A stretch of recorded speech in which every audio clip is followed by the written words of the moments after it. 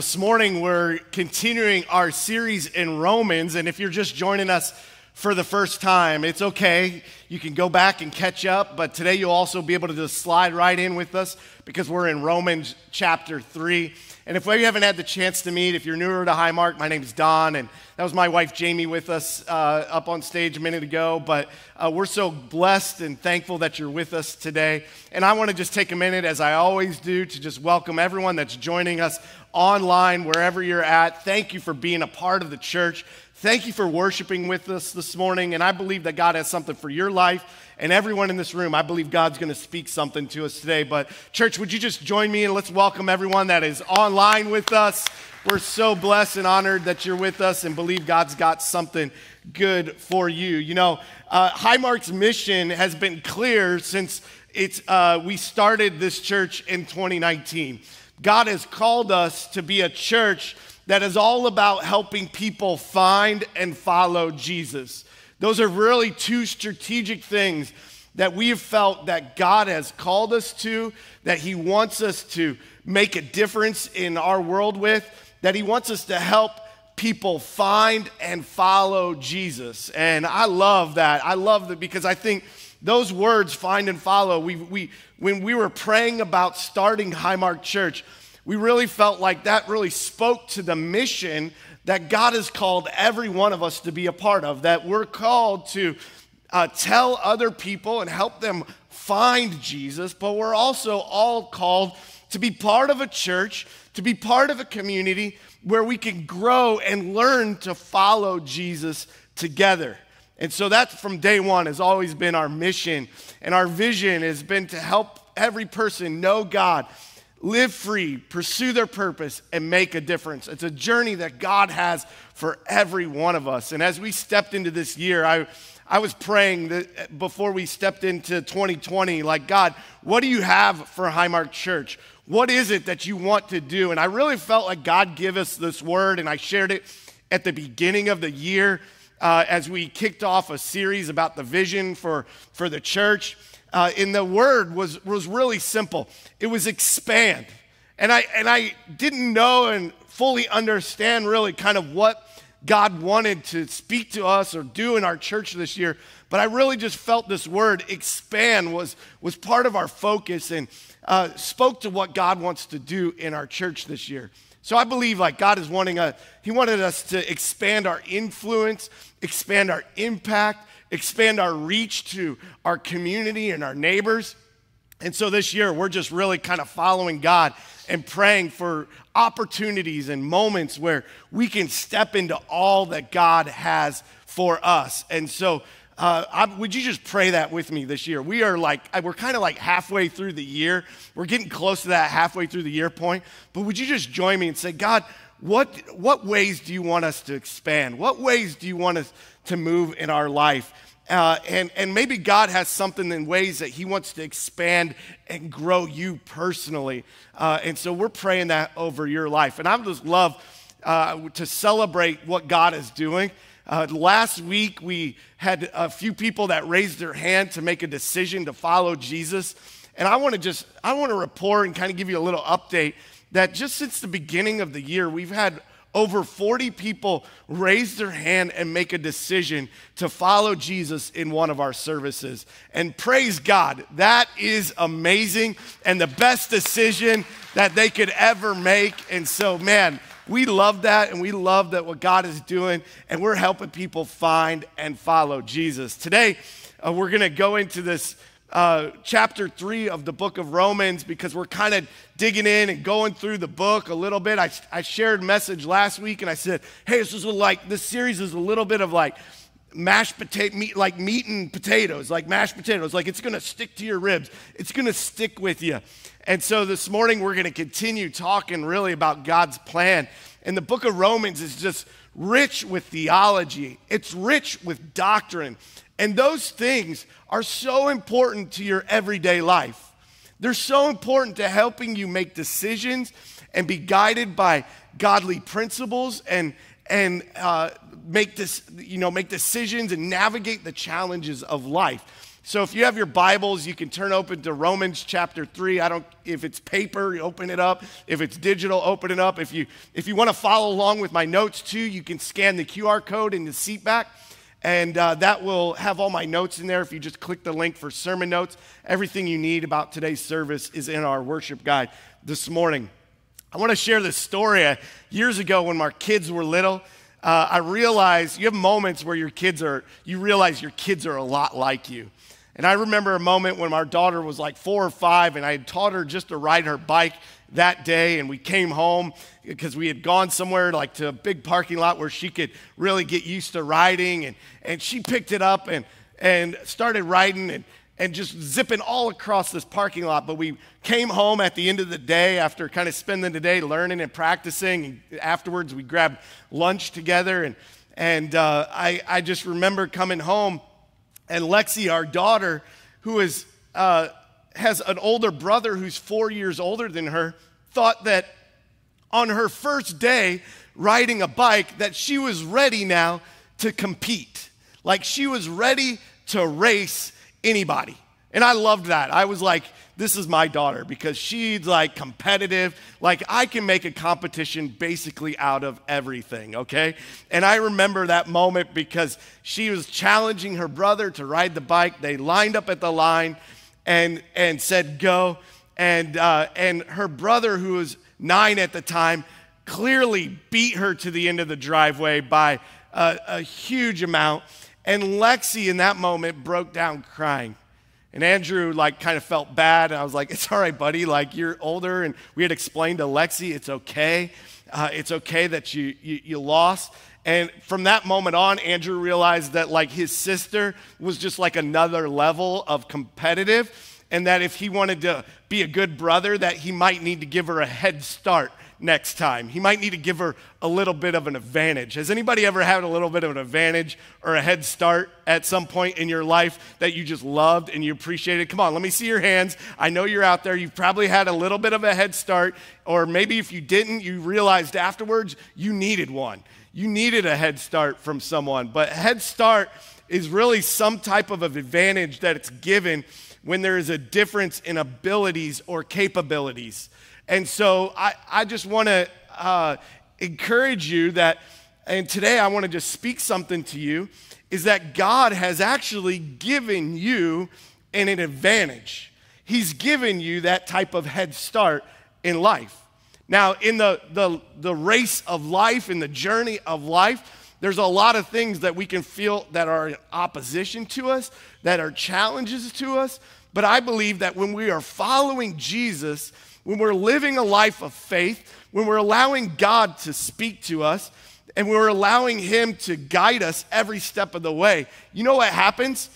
God actually gives us an advantage. He gives us this head start. And today I'm going to look at a scripture in Romans chapter 3, just the first few verses, because it talks to really this head start advantage that God gives to us. Now, I think the problem, and we talked about this a couple weeks ago, is that sometimes we're too prideful in the fact that we uh, hang on to uh, our position and we hang on to where we're at and we don't grab hold of the head start and the advantage that God has given to us.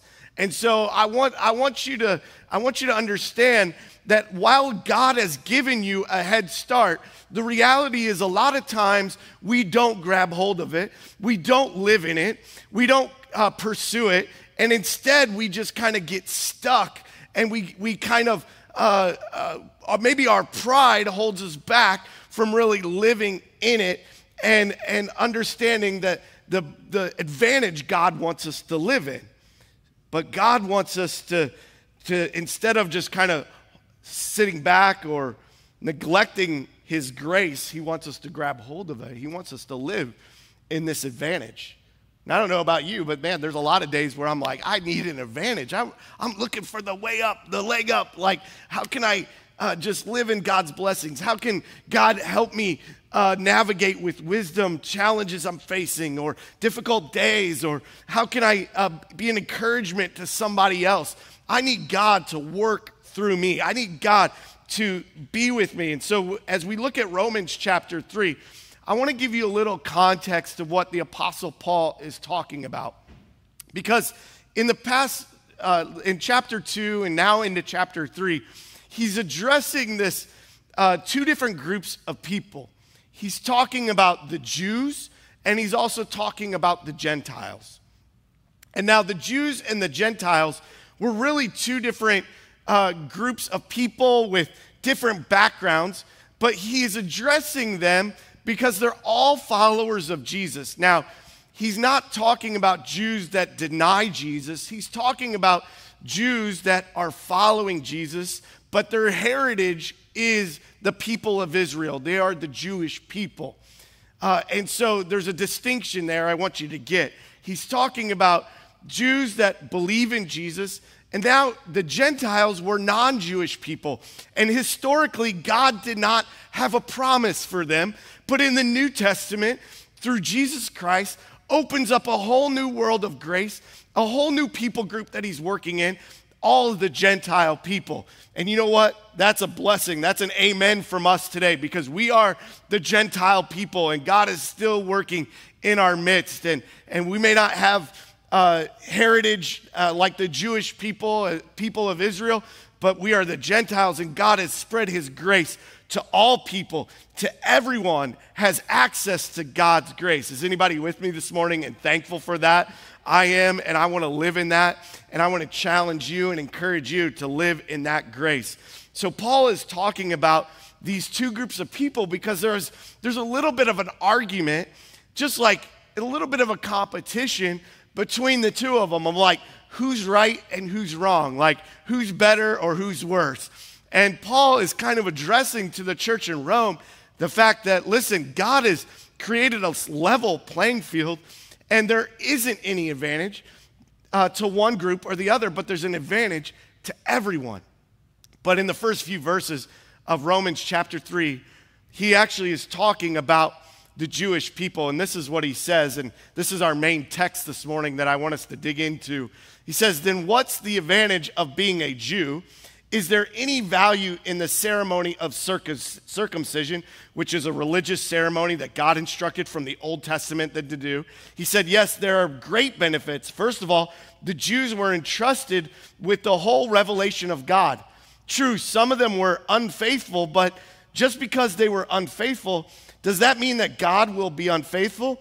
Then he says, Of course not. Even if everyone else is a liar, God is true. As the scripture says about him, you will be proved right in what you say, and you will win your case in court. He's quoting right here from the book of Psalms that speaks to the trueness of God, the character of God. And he's talking here about the advantage that the Jews have because God had given them and worked historically in their midst. And even though that God had worked in their midst, that they had been unfaithful and they had kind of turned their back on God. And if you read the Old Testament, you can see countless times that the Israelites, the Jewish people, they turned from God's plan. They got distracted. They worshiped other gods. They got scared. They got fearful. The economy went bad. You know, the famine like plagued the land, all of these things. And, and despite all of that, he's saying they had an advantage that God gave them the whole revelation of his love, the whole revelation of his plan, and he was faithful to, to them every step of the way. And I love that in that in verse 4 there, he really says, like, because they were unfaithful, does that mean that God was unfaithful to him? And he says, Of course not! Exclamation point. It's so emphatic. It's one of the strongest words in the Greek language right there that Paul is saying, like, there is no way it's not possible because God is faithful. And this word proved it, proved it over and over again.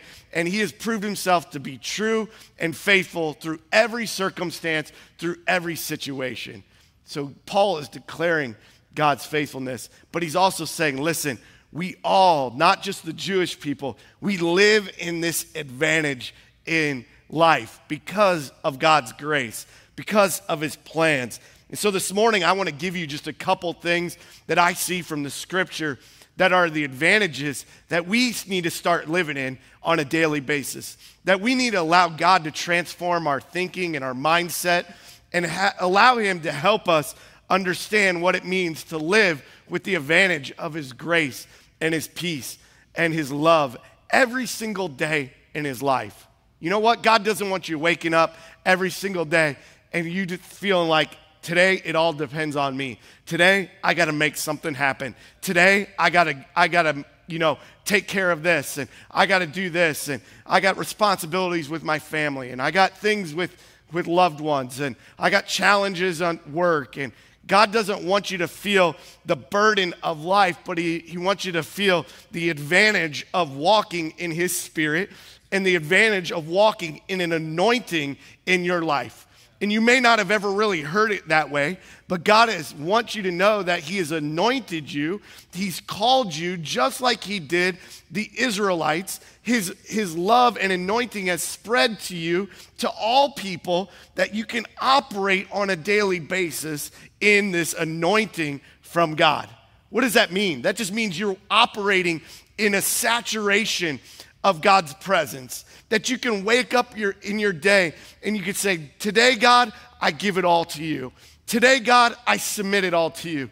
God, order my steps. God, here are the burdens. Here are the anxieties. Here are the worries. Here are the challenges. All of these things that I have a tendency to grip and try to control. But instead, God, I'm giving them to you.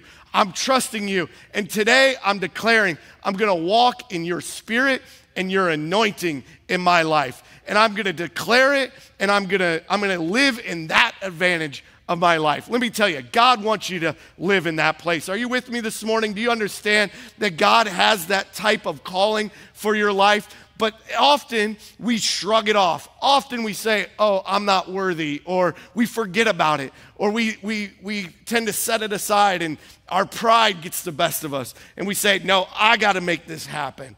But God wants us to live in this advantage of His anointing in our life. He wants us to live in the advantages that he's given us. So what are some of the advantages that he's given us? The first is this is that God's word is an advantage for us. God's word, it helps us to know God. That's part of our vision and we believe every person is on this journey to know God. And so uh, God's word is the, one of the greatest ways that we can get to know his heart and his character and his love and how much his grace has filled us. And and, and his word helps us know his principles and his promises. And so our uh, his word is this advantage that's been given to us. It's something that we can live by. It actually gives us a standard to live by. In the world that's we've talked about this in the past few weeks, in a world that's shifting and cultures are all over the place and, and standards are changing day in and day out the Word of God gives us this baseline and gives us this true plumb line in our life that we can live by. And it becomes an advantage that we can glean not just the wisdom of this world or our friends and relationships, but we can glean the wisdom of God and we can apply it to our life. It's an advantage for us. Look at what he says in verse 2. Yes, there's great benefits. There are great benefits. First of all, the Jews were entrusted with the whole revelation of God. And you know what that is? That is the Word of God. We've been given this full revelation of God through His Word.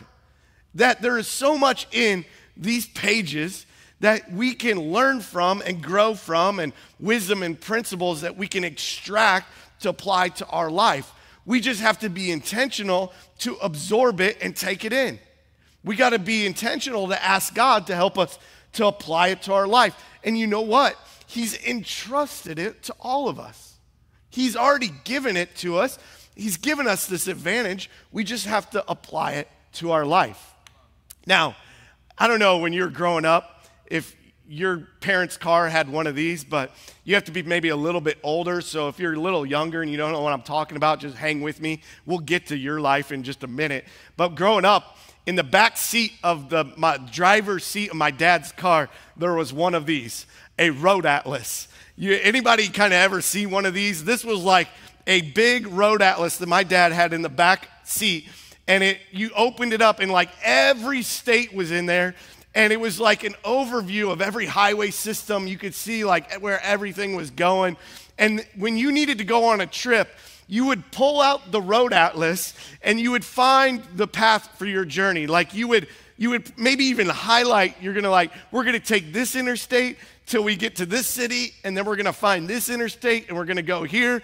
And then you get in the midst of it and you'd be like you know you, you know, mom and dad are in the front seat. You're like, get the atlas out. I don't know which way we are supposed to go. You know, like in a panic in a moment, you're flipping open this big map and trying to figure out which way to go.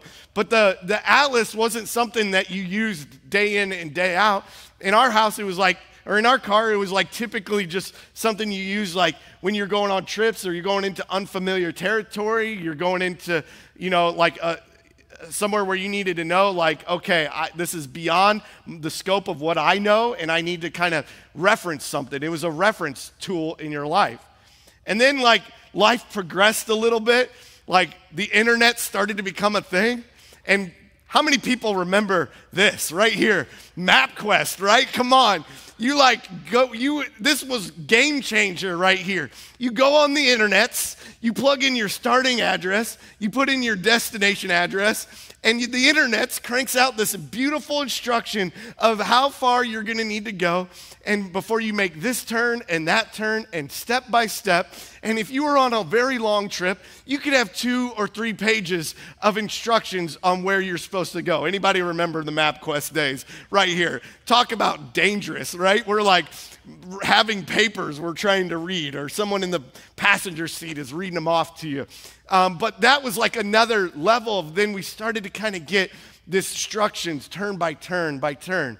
And it was something maybe we start to use a little bit more frequently. It kind of becomes a little more part of our life. You can see the progression here is now today we can plug in any address. And oftentimes people are super dependent on this, even in this town they live in. You might live right, you know, like you're going to the store, but your habit is just to plug it in everywhere you go. You may be a little what they call directionally challenged. And and you're you just depend on this and this is your crutch and every day you can listen to those instructions from the, person in your car giving you the navigation and telling you how many feet before you turn, how far you need to go, and then get to turn here. But how many know we still kind of mess that up sometimes? You know, I every every now and again would be like, I, I, blame the, the GPS. It's like, it told me too late. Like, I couldn't make the turn in time.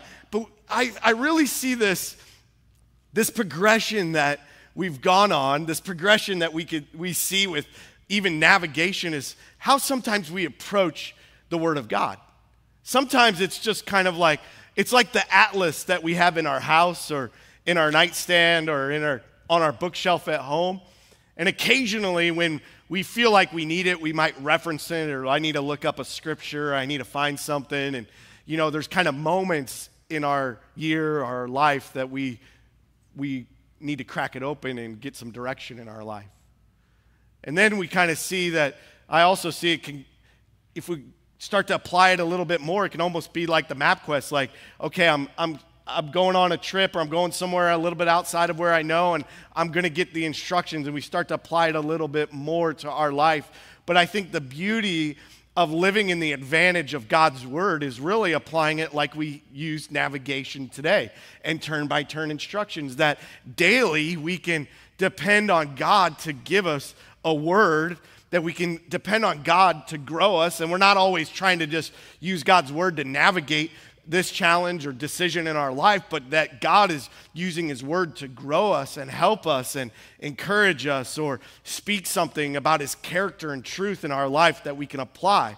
But every day we can utilize it. And I think how we view the Bible a lot of times informs really kind of the value we put on it. And I see that in our culture that there's a lot of different levels of how we value God's word. There's a lot of people out there that I think, number one, might just say, hey, the Bible, it's a good book. There's good things in it. There's historical accounts. There's things in it. And, but that's it. It's just a good book. It's just written by men. And, and you know, it has, has some things that are helpful, but there's not really a power in it. There's not really anything. And, and what they're doing is denying the power of God's word and the power of God's word spoken to man, and what Paul talks about in Revelation 3 as the full revelation of God. There are also those that say, hey, well, the Bible is a mix of truth, it's a mix of errors, and there's things that have gone wrong and uh, things that have been put out there. And, and they really kind of talk about it as it's more the opinions of man. And what happens is then those people, they can use their scholarliness to shift the Bible whichever way that they want to go. They can use reasoning and logic and scholar their scholarly explanations to kind of shift it whichever way they want it to make and apply it to their life. But it, the way that we see the Word of God is that it's the inspired Word of God. You see, 2 Timothy 3.16 says, all scripture is inspired by God and is useful to teach us what is true and to make us realize what is wrong in our lives. It corrects us when we are wrong and teaches us to do what is right. So I want you to know this. At Highmark, we believe in the whole Word of God. Every word is true and applicable to our lives. It's an advantage that God's given to us. And, and we're not strong enough to live this life without the Word of God, this full revelation that He's given to us uh, to unfold in our life. We need that, and we can stand on this as a, as a rock and as His truth. And so, what happened is that God spoke through men, and even though they have their own style of writing, that God inspired the things that they would say in that book for a purpose that is applicable to our daily life. And it can be turn by turn navigation. The second advantage I see is not only that we have God's word, but is that in the scripture we hear that God is faithful, and God's faithfulness is an advantage. It's advantage for all of us. You see, God's uh, grace, uh, God's grace is that He's bringing us into His perfecting power, and we're being kind of washed through His perfecting power. The beauty of the gospel is not that we have to make ourselves right and we have to come to Jesus, but it's that God's grace is we just have to surrender ourselves and open ourselves up, and that God is going to work on our life. He's going to do something in us. And He's faithful to us even when we're not faithful to Him. And the reality is, the world is still full of sin. Our lives can still be full of sin, but it's something that God has got us on a journey and He's taken us through. The world's full of sin. You know how I know? Because last week I was running an errand in the store and I spotted a great parking spot. And I discovered that the world is still full of sin. And I saw this great parking spot. I went to pull in and I realized that the car on one side of it was parked over the line. I thought the sins of man are causing my life, causing me to stumble today. You might have been in the moment like that. You see you might have started to pull in a spot, you realize that someone's over, and you're like, oh, I cannot fit in there. I thought I had this great parking spot, and then you realize there's probably been 10 other people that saw that parking spot and they, they rolled up there and thought they were blessed and highly favored as well. And they went to pull in, and then they saw the sins of all mankind displayed right there and drove over the line, and, and they too had to pass on that spot. Or maybe, like, you know, you know, I don't know what happened, but that over the line parker, they better have had an emergency in their life that caused them to park and leave their car that way before going into the store. But, you know, I've also been in the place in the parking lot where I've realized the sin of people because you're, you're going down the aisle and there's maybe a car in front of you and you see that spot up ahead and, and, they, and they roll right past it and you're like, bingo, I'm, that spot is mine. Only to have them throw the reverse uh, lights on and they just start to back into that spot. How extra is that? Come on. Listen, all joking aside, like, you know, just park the normal way, people. Let's make space for everyone, you know? But it gives us a false hope. But all joking aside, listen, the world is not perfect. There's still sin in the world, there's still sin in our own life but it's a condition that we can deal with and that God deals with in our life. And I love how Romans reminds us just a few verse later, verses later in what we, we were reading this morning. Paul writes, he says, as the scriptures say, no one is righteous, not even one. No one is truly wise. No one is seeking God. All have turned away. All have become useless. No one does good, not a single one. But then he turns and he says, but God's grace meets us right there. Paul, Paul later in 2 Corinthians chapter 12, he's accounting the fact that he's asked God to remove his weakness in life. He's asked God to help him, and he, he recounts what God spoke to him and what God tells him.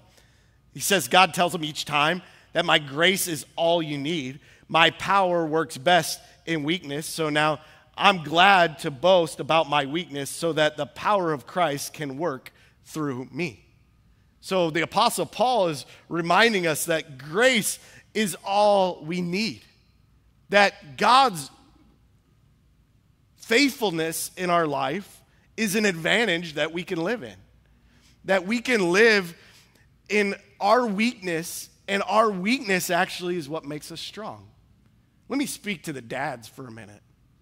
When you're following Christ and you're leading a household, you're leading your kids, maybe just your wife. God has called you to lead in a way that's authentic, that your kids and your family and those closest to you can see the challenges and your weaknesses. They can see you acknowledge them and also submit them to God. And that is a powerful picture of God's work in your life. And you know what? That's contrary to what this world tells us to do and how the world tells guys they got to behave. It's like, no, don't acknowledge that stuff. Bury it. Just be tough. Like, you know, gloss over it. You know, just don't ignore it. You know, don't deal with it. But the, but the reality is that a life submitted to God is, is always going to yield to His grace and, and realize what the Apostle Paul is saying here that even in our weakness, that God's grace is all that we need. And I'm thankful for that. And you know what, this morning, God's grace is all that any of us need. And if you've never had the chance to accept God's grace, when I close in a minute in prayer, I'm going to pray for all of us. We're going to worship again one more time as we close this morning. But I want to pray if you've never made that decision, that right now God would be speaking to you and you'll have the chance to respond and just pray a simple prayer as we pray, accepting that grace, accepting the advantage that God has given to you. God wants us to realize that even when we're not faithful, even in the face of our sin and our weakness, He is faithful every step of the way. He's not abandoning you, He's not letting you, letting you go, but He's still working all things to the good in your life. And you know what? The bottom line I want you to get this morning is that every advantage gives me a heavenly anointing. So when I talk about at the beginning us walking and operating in an anointing, well, we're going to live in it when we live in the advantages that God's given us of His grace, His faithfulness. We live in His Word. We're going to walk with a different level of anointing in our life. And my prayer is that Highmark Church, we are a people that walk in this anointing of God. Like people don't even understand it around us. Like there's just something different about us there's something different about the presence we carry to people in our world. And it's not just because, you know, like of our good nature and our kindness, but it's the grace of God and the power of God flowing through us. That we're living in a heavenly anointing that causes us to live with a different level of awareness of God's goodness. It helps us to live in a, another level of God's strength. It helps us to live with a, another level of conviction and boldness to speak his truth to the, to the world and the people around us. So when I see a church, I see a church that is called to walk in a daily anointing. We're men and women who start our day seeking God's anointing. We walk the halls of our schools with a holy anointing. We lead our families with an anointing. We step into business deals with an anointing. And we bring an anointing into every conversation with our neighbors and our friends and our coworkers and our family. God has put people in our life that we can operate and we can live with a different power. we can walk with this advantage in life. That despite what all is going on around us, that we can live in His truth and His power and His grace and walk in this anointing.